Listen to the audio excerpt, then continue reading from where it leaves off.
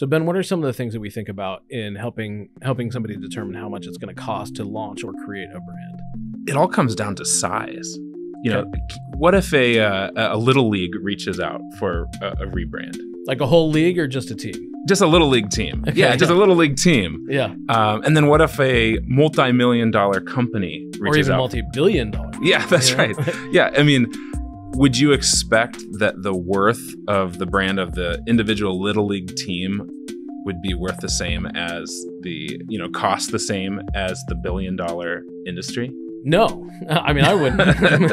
Partly because the little league team has far fewer resources but right. is that all that matters? Like it just like oh this company's got a lot of money so they get charged right. a lot more. Is that is that how it works? That's right. Yeah we just have this sliding scale like oh you, you've got a lot of money we'll charge you more. Well no um, really it comes down to you know think about with a little league team for example they might need their logo on their jerseys maybe a little one page website with the uh, schedule on it or something like that and that could be it yeah. you know the the implementation of that brand um, is just is very limited yeah. and and as it should be there's no reason to make that more complex yeah. uh, than it needs to be however when you work with a multi-million multi-billion dollar company oh man i mean the the ways in which that brand has to be implemented can be really really uh, varied and robust.